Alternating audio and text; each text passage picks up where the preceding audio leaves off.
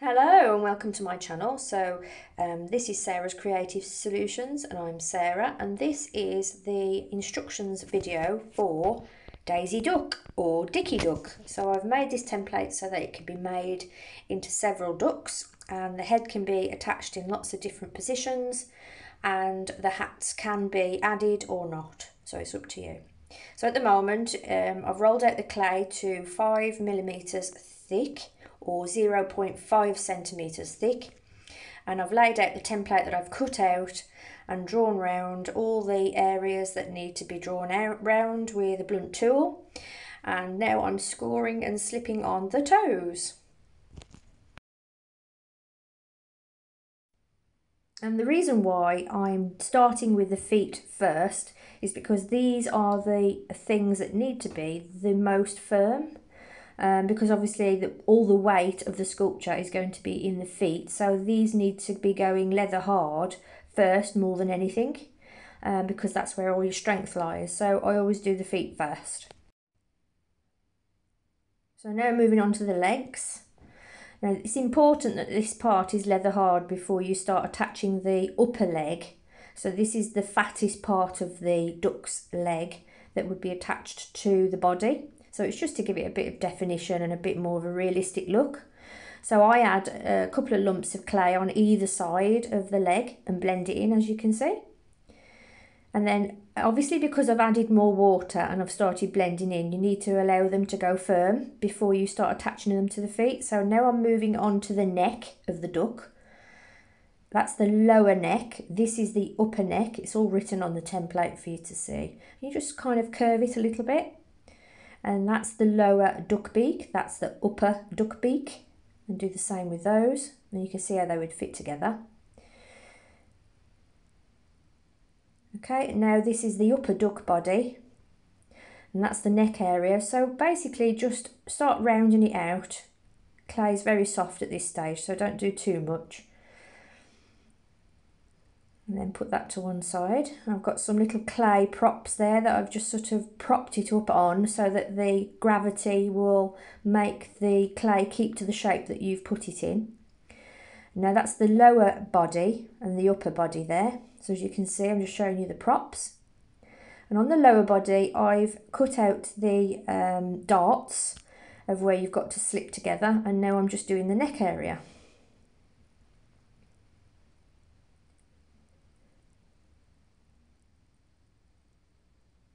Keep blending it.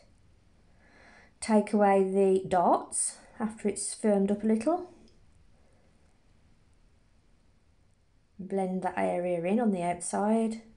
Doesn't really matter about the inside so much, but I do blend that in as well. And that area there is the tail. And now I'm blending in on the inside. Always do it in a cupped hand so it can kind of keep that body shape curled. Now I'm bringing the neck together, just at the very end there. And then pinch that together. You might want to support the join with a little bit of extra clay because that's the only area we're joining together so there might be a little stress on that joint from the rest of the clay body. Now we are going to cut the end off this neck uh, because it's going to allow the airflow into the head. But here I'm adding a little bit of clay to the join on the inside. Use a tool to blend it from the inside if you can't get your finger in there.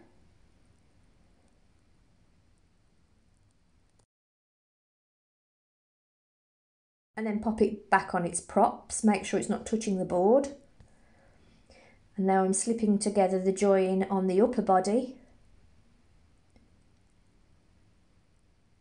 And this is the upper neck.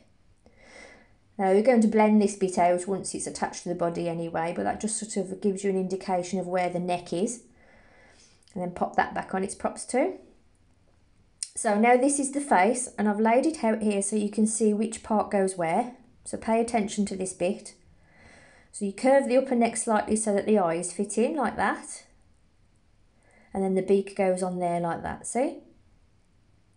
But obviously because the pieces are quite thick, you have to take away the inner edge as I'm doing here. So it kind of angles the edge and do that all over the piece. But be careful not to go all the way through. We don't want to go through to the other edge. You're only taking the inner edge away. So you want to leave about a millimetre edge on the outside.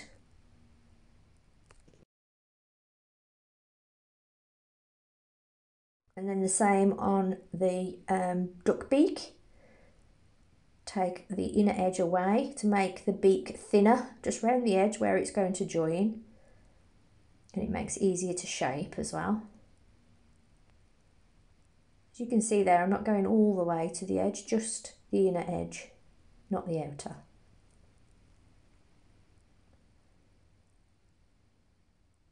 Now as you can see there I'm leaving a little peak at the end because that is what a duck's beak looks like. If you're having trouble with um, finding something to or if you, your memory's not that great what ducks look like, always go on the internet and ask Google to show you images of ducks and that just gives you a visual for when you're doing these bits and what shape and position the duck should uh, duck beak should be in and things like that.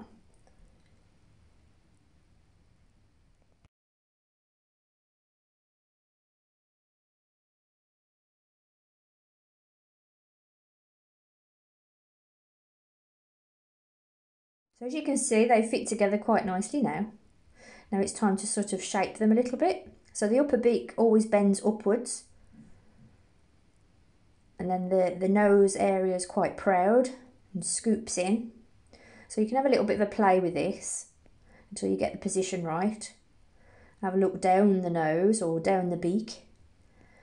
Scoop up the front like I'm doing there. Just keep messing with it until you're happy with the shape and then leave that to firm up a little bit and then go back to the neck. Now we're taking the inner edge of the eyes away so they can be slipped together with the neck, upper and lower.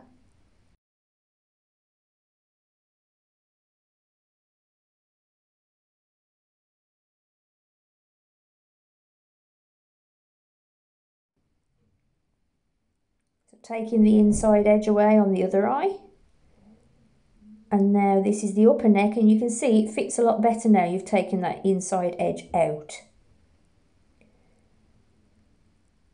And then we've got to join all these bits together with really thick slip not watery runny slip thick slip. And then the same with the lower neck. Take the inside edge away very carefully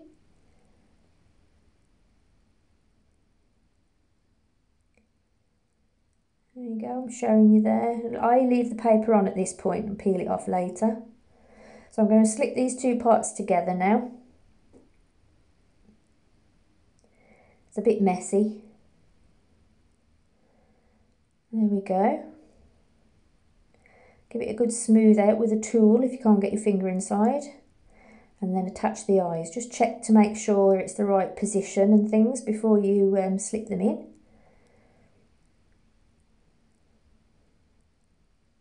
There we are, it fits quite nice. And now for the other side, plenty nice thick slip. There we go.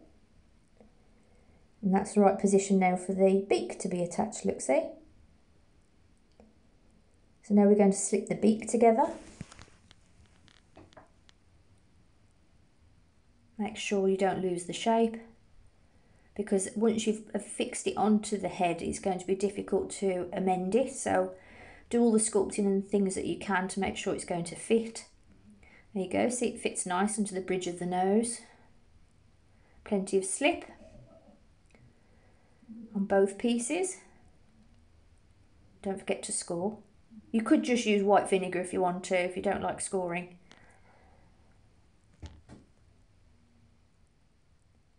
There we go. See, it's looking really good, isn't it? So now, obviously, just got to let that firm up a little bit. Blend in where you can. And then later on, I fill in all the gaps and blend with thick slip. So now I'm just marking out where the wing's shoulder would be. It's just with a, a, a drinks lid, which is a nice circle shape. And obviously this is where the wing meets the neck area. So we don't want to cut all the way through, but we are thinning out that area a little bit.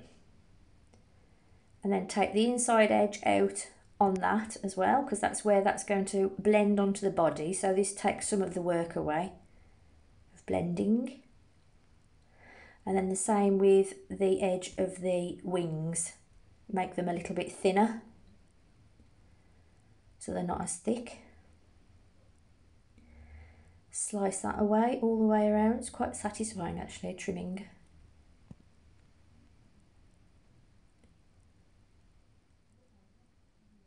So then once, once you've got to the thickness that you like, then you've got to score all of the inside of that. Do the same with the tail on the lower body, thin the edge of that out because that's where it's going to attach to the upper body smooth out any bits. And then score all around the edge because that's what's going to attach to the uh, to the upper body but it's kind of overlap one another. You'll see in a minute. Plenty of slip again. Pop that back on its props and then do the same with the upper. Lots of scoring and plenty of slip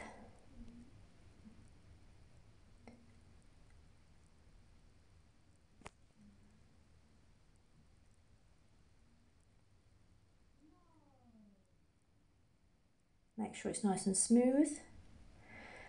And then there we go. Slip them together. Make sure it's in the right position before you start patting it down and things because obviously it'll be more difficult to rectify if you've attached it and then go, oh, it's not quite in the right position. So now I'm just blending, blending, blending all around the tail area. You can see it's quite thick there at the end still, so obviously that's got to be taken away a little bit if you want it to look seamless, but you don't have to do that, but that's what I did. Now I'm onto the neck and I'm using a tool on the inside as you can see and trying to smooth around as much as I can and don't forget this has been slipped together and it's had time just to firm up a little bit because you wouldn't want to do this straight after you've slipped it together because it might just fall apart. It's going to give it time to dry out slightly. Okay, so this is where I start peeling off the template. Obviously it's a bit messy and things and you might end up catching the clay slightly with your fingers but at this stage it doesn't matter because you're going to be adding a lot of slip to the outside anyway to fill in all the joins. Um, so that will all come off with um, the water anyway.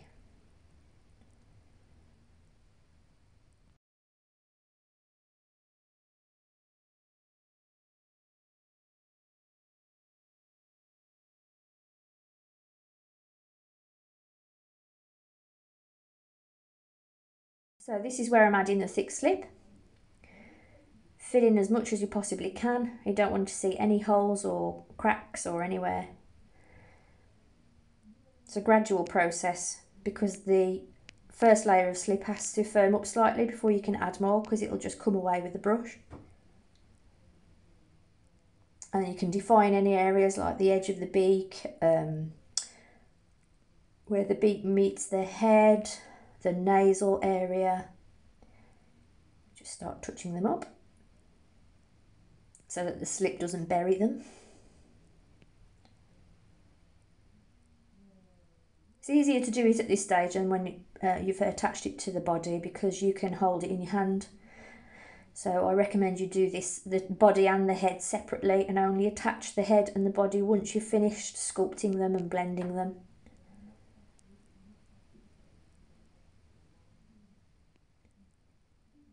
It actually took me two days to do this sculpture, not because I was up from the crack of dawn till midnight, but because there's a drying time in between.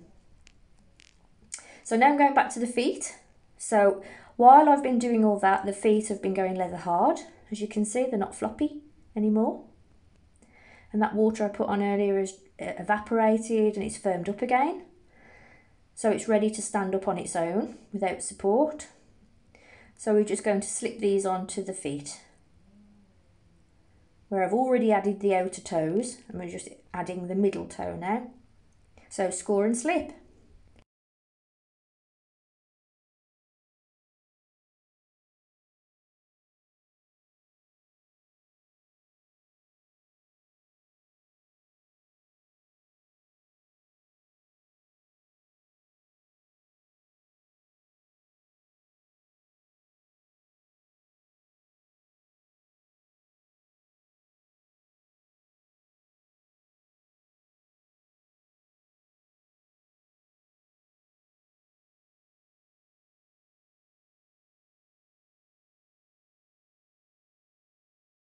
So press down firmly. And then very back by the heel, the clay is quite thick, so blend that into the leg, the lower leg, either side. We don't want to see a step there, we want it to blend in with the rest of the leg. And then the same with the back. Um, on the middle toe, I sculpted in the toenails already, so it gives me a line where I need to add to the outer toes, which I'll show you in a minute. But you can see I'm blending that in quite well, so you can't see the join. Both sides.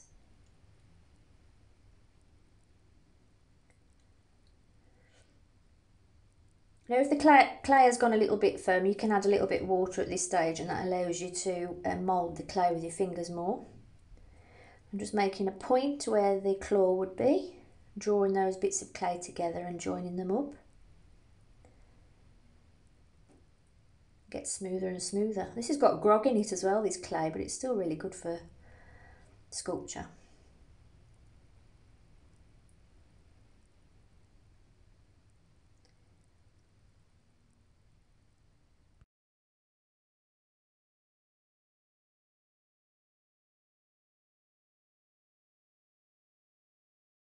So now I'm marking out the claws. I'm using my sharp straight tool for this. I mean, you could even use your fingernail if you've got any nails. As long as you don't go too deep.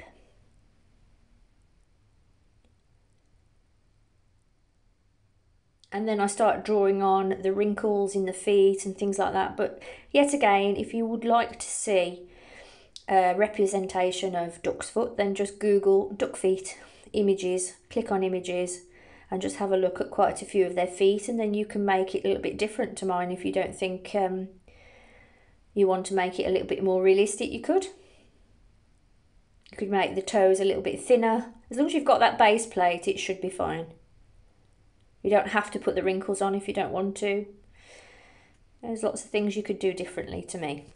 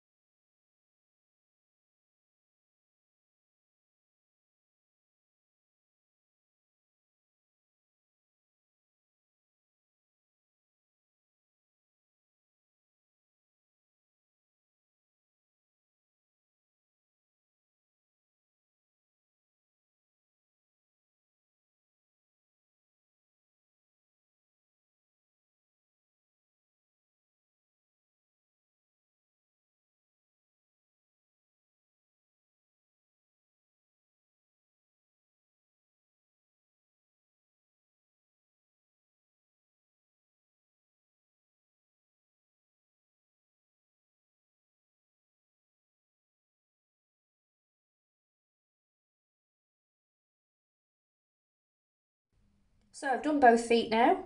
I'm going back to the body and this is where I'm blending in the upper neck to the lower neck. You can see where it joins on there.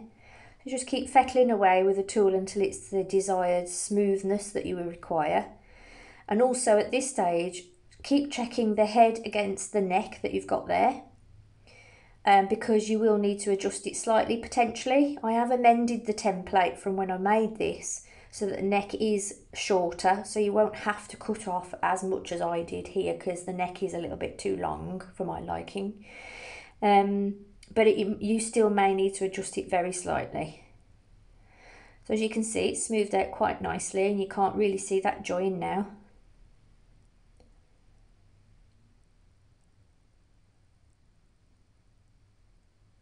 And that's where I chop the head off but I do later on chop a little bit more off because I still think it needed to be a bit shorter. So like I say I have amended the template so you shouldn't have to chop off as much as me.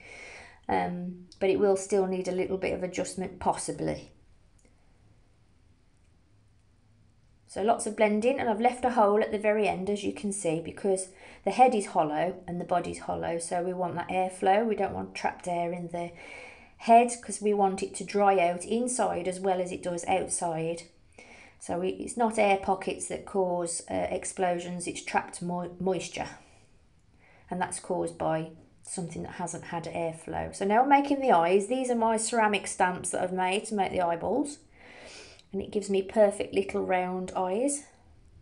So what I do is I stamp them first, take them out the stamp, cut them out, and then I stamp them again once they're on the sculpture and that just tidies them up on the sculpture but then also seals them onto the sculpture because it squashes the, the edge of them on.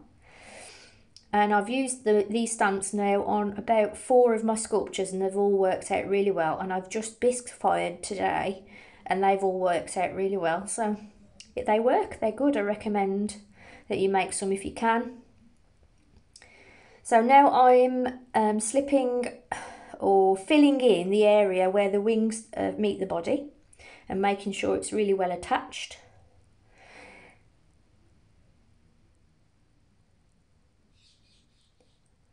And I'm going to do that with a bit of soft clay rolled out into a sausage and then just kind of fill in and press down with a wooden stick so it doesn't stick to the clay as I do this and it just gives me a nice finish. You don't have to do this, you can just leave it as it is and um, not bother filling in all this, but this is how I've done mine. So it's up to you if you go this far.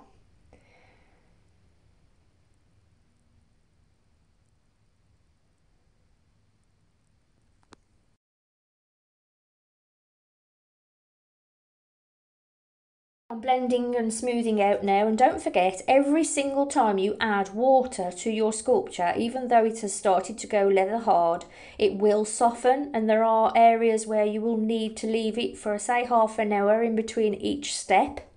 So even though this video is showing me speeding up there is times when I go off and make a drink and things like that and that gives the clay time to sort of um, settle and uh, fuse together where I've added slip and it's important that you do that otherwise you can stress the clay out. So here I am trimming that bulbous bit on the back and giving it a nice seamless finish. You don't have to do this, you could have left it the way it is and then just add your detail.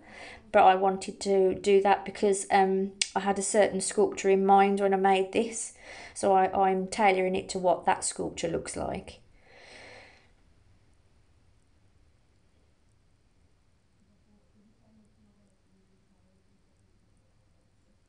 And now I'm making the air hole at the bottom and this is just so that the air can escape and also so that it will flow inside and out so that it dries out evenly. So now I'm smoothing out the head. You can see all the joints are filled in. It's looking good. And the feet, I've put on all the lines and wrinkles of duck feet. I'm just blending them a little bit. So obviously I've left them after spraying them now, probably a few hours, and I've come back and they're leather hard again, and it enables me to put more finer detail on and to blend a little bit more if they need tidying up, give it a smoother finish. But if you're going to put detail all over your duck, you don't have to do these steps.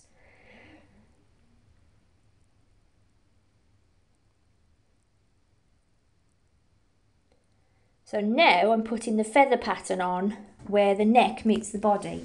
Now you've got an option to blend the neck to the body seamlessly without having to do this bit. This is just something that I decided to do because I thought um, it looked good and why cover a seam up when you can make it part of the sculpture. But you don't have to do this bit if you don't want to. Like I say, you could just blend it into the rest of the duck.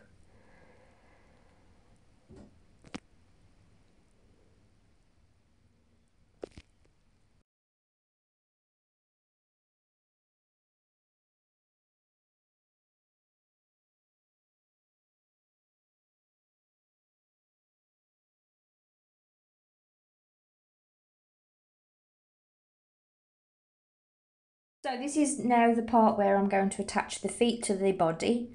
So I use really, really thick um, slip um, and I do that because it's part of the look. I wanted it to look like small feathers attaching uh, from the underside of the body to the top of the legs and as you'll see in a minute it looks quite good. You don't have to do that, you could smooth it out completely if you want to and just paint a pattern on or sculpt a pattern in of feathers if you wanted to but this is what I decided to do. And at the front there, I've got a clay prop. That's just bone dry clay. It's not fired. And I sculpted that just before I decided I was going to do this sculpture. So to support it while it dries, so it can stand up on its own. You must always support sculptures as they're drying out and don't take that prop away even when you think it's leather hard. Leave it until just before you're going to take and put it in the kiln and then take the prop away. Um, and that just ensures that everything stays in one piece and you don't get any cracks. So this is where I'm showing you the positions of the head. You slip this on in any way you would like. And there you go, I put it in that position. That's finished, ready to go. It's drying out and going in the kiln soon. And uh, I've done a hat for it uh, with a daisy because this is Daisy Duck. And I've also put a top hat in for Dicky Duck. So this is Dicky Duck and as you can see he's got a hat and then what I did later on was I added a plume of feathers on top of his head so that the hat would key into that.